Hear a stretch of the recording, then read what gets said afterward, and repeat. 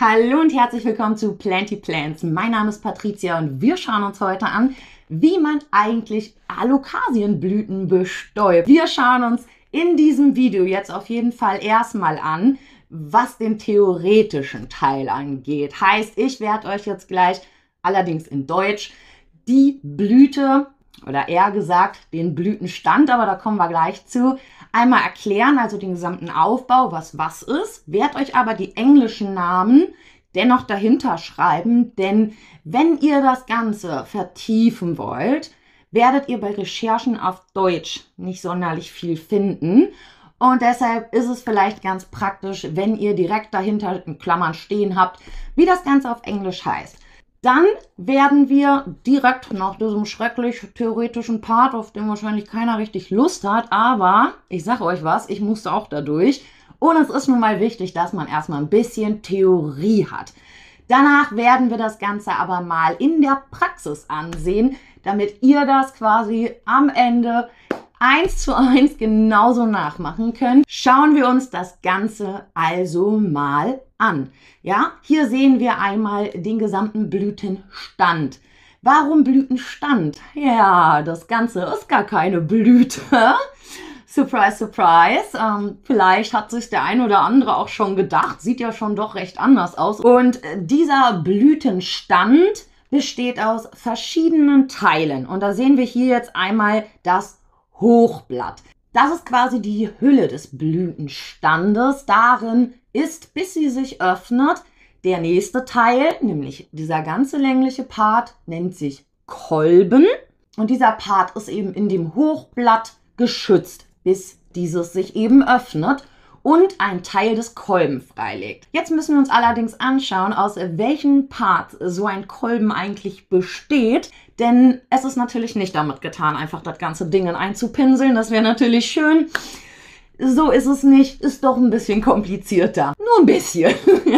wir machen weiter. Bei diesem Blütenstand haben wir hier zuerst den sterilen Part. Ja, das ist der gesamte obere Part. Der unterscheidet sich ja äußerlich, wie ihr sehen könnt, auch so ein bisschen von dem, was darunter kommt. Und dieser Part kann eben nix, denkt man im ersten Moment. Kann er aber eben doch. Und zwar habe ich dazu auch mal ein Highlight auf meinem Instagram-Account gemacht, denn meine Alocasia-Blüte hat etwas mit sich gebracht damals. Die Friday war es, was mir nicht bewusst war.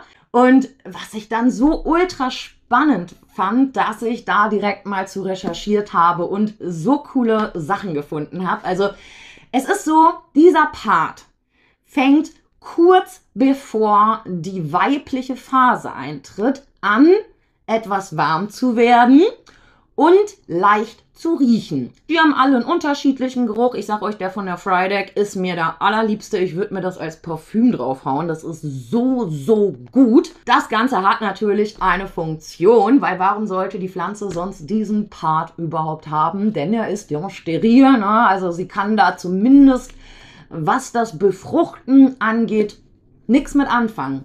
Aber dieser Part der lockt quasi die Insekten an, weil die müssen ja auch erstmal wissen, dass hier gerade irgendwas abgeht. ne, dass hier gerade die weibliche Phase überhaupt stattfindet. Das mit der Wärme ist ganz oft deshalb so, weil diese Alokasien tatsächlich oft nachts anfangen in ihre weibliche Phase zu kommen. Versteht mich nicht falsch, die ist am nächsten Tag auch noch da. Ihr müsst deswegen nicht um 5 Uhr morgens oder um 4 aufstehen und eure Alokasie bestäuben. Alles cool, das geht auch so. Ich mache das tagsüber aber in der Natur wird die deshalb warm, damit Insekten die finden.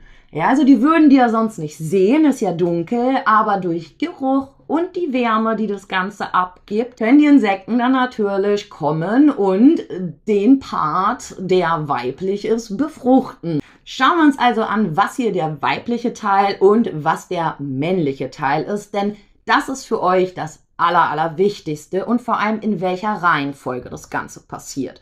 Als allererstes sehen wir hier nach dem sterilen Part den männlichen Part. Und an dem Part kommen die Pollen. Diesen Teil werdet ihr nachher in dem praktischen Teil nochmal genauer sehen. Der weibliche Teil ist gar nicht sichtbar für uns, außer wir öffnen diesen Teil. Denn tatsächlich ist es so, dass diese Insekten in den Kolben, also in diese, ne, in diese Umhüllung von dem Hochblatt, wenn die sich gerade leicht öffnet, reinkriechen und dort können die dann bestäuben. Das hier ist der männliche Teil, der die Pollen macht. Das hier ist der weibliche Teil, an dem das Sekret sein wird, das diese Pollen aufnehmen kann, an dem die kleben bleiben. Ihr könnt da auch mal mit dem Finger dran touchen. Es ist klebrig, ja, also man merkt das wirklich. Ihr, wenn ihr das öffnet, ihr seht, da drin ist feucht, das nass. Also man kann sich da dann schon ganz gut logisch herleiten, dass das der weibliche Part ist. Aber wie genau läuft das jetzt eigentlich? Wann bestäube ich und wie und woher weiß ich das eigentlich, dass die weibliche Phase jetzt gerade ist, wenn ich die ja gar nicht sehe? Also, es ist so, tatsächlich beginnt das Ganze mit der weiblichen Phase, einfach weil eine Blüte möchte kein Inzest betreiben. Ein Blütenstand, entschuldigt. Und deshalb kommt erst die weibliche Phase. Das heißt, fremde Pollen müssen rangetragen werden und eben zur Befruchtung dienen. Während dann direkt danach, also es ist echt kurz nach der Bestäubung, wenn man die bestäubt, am nächsten Tag ist bereits der Pollen am Kolben.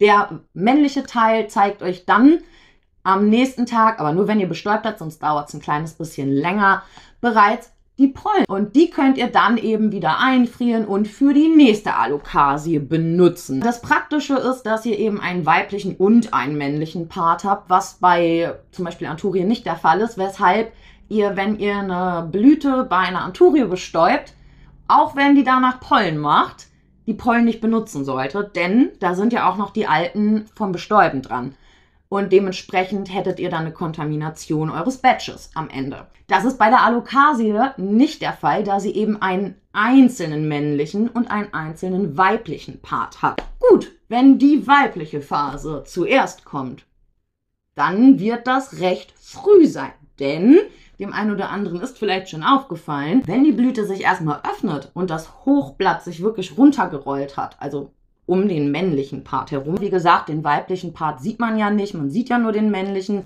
Aber sobald ihr den komplett seht, könnt ihr euch sicher sein, dass ihr nicht mehr bestäuben braucht. Dann ist das ist vorbei. Also ich mache es tatsächlich so, sobald die Blüte ein ganz kleines Stück geöffnet ist, mache ich sie komplett auf und bestäube.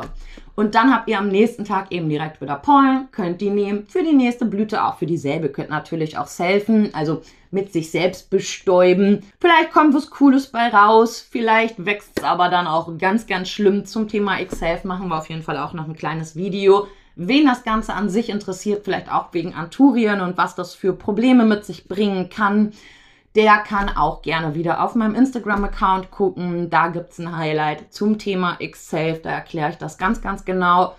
Ist nicht schlecht, wenn man da so ein bisschen Bescheid weiß. So, nachdem wir jetzt den ganzen Schulbankmist hier durch haben, machen wir das, was ihr wahrscheinlich wirklich wollt, nämlich den praktischen Part. Und ja, wir sehen uns danach wieder. Ihr seht, das hier ist meine Frydeck. Ja, hier ne, mit den Blüten, die Blätter sind auch ein bisschen kleiner geworden. Aber egal, wir wollen uns die Blüte anschauen. So, die ist jetzt gerade quasi aufgegangen. Gestern war sie noch geschlossen. Das ist wichtig zu wissen, denn wenn sie aufgeht, dann müsst ihr diesen unteren Part hier, ja, Moment, vielleicht können wir den noch besser drauf kriegen. Ja, können wir. Genau, dann müsst ihr diesen unteren Part nämlich öffnen, weil eigentlich würden halt Insekten jetzt hier durch diesen Schlitz, weil es riecht auch sehr, sehr, sehr, sehr angenehm. Auf jeden Fall müssen wir hier diesen Part deswegen aufschneiden, denn naja, wir haben nun mal keine kleinen Insekten, die uns das jetzt da rein befördern. Und an diesem ganzen Part hier vorne ja, den, den wir jetzt hier sehen, das ist nicht der, den wir bestäuben, an dem werden die Pollen wachsen. Ich schneide jetzt hier auf jeden Fall diesen Kranz komplett weg. Ja, also erstmal so. Ist, also das, es ist halt auch unnötig, ne? Also die braucht das nicht. Moment. Ich mache das Step by Step, weil ich natürlich auch Angst habe, dass ich was kaputt mache. So, ganz vorsichtig. Da kann ich hier diese Fiskars-Schere auch wieder sehr empfehlen. Mit anderen Sachen, ja, hat das oft nicht so gut geklappt, wie ich es mir vorgestellt habe. Ja. Schön aufpassen, ne? Ihr wollt hier nichts verletzen. Weil hier drunter, ihr seht es gleich wieso, sind die zu befruchtenden kleinen, ich sag mal, Stempelchen, auf die man es aufträgt. Da seht ihr eigentlich auch immer schon. okay. So. Jetzt kappen wir hier hinten noch den letzten Part weg. Zack. So. Und jetzt schauen wir uns nämlich mal die Blüte genau an, also die gesamte Anatomie der Blüte. Also dieser Part hier, der fängt an zu riechen und der riecht bei der Frydeck unfassbar gut. An diesem Part hier werden nach der weiblichen Phase, in der männlichen Phase dann, die Pollen sein. Und dieser Part hier ist der, der bestäubt wird. Ich werde euch jetzt mal zeigen, wie ich da auf diese kleinen Stempelchen die Pollen auftrage. Die zeige ich euch auch noch mal vorher. Äh, war eine ganz gute Ausbeute, habe ich sogar in zwei aufgeteilt.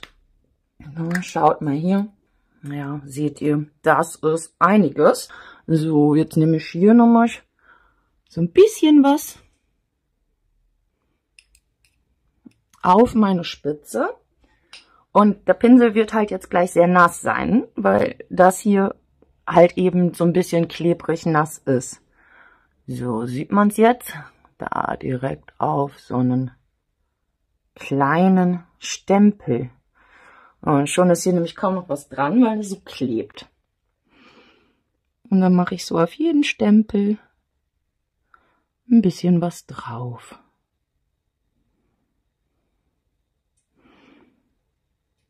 Man hat zwar das Gefühl, oh, da ist ja jetzt gar nichts, weil es ist ja noch so viel am Pinsel, aber das sind so feine Pollen, da müsst ihr euch keine Sorgen machen.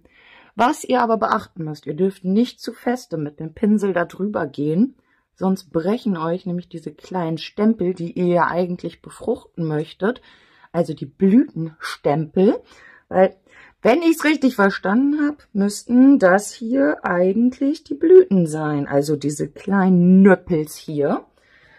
Aber ich bin bei den Alus noch nicht so tief drin wie bei den äh, Anturien. Dementsprechend könnte ich da falsch liegen. So, jetzt machen wir das natürlich auch noch hinten. Da sind ja auch noch welche. Huch. Okay, das seht ihr jetzt leider schlechter.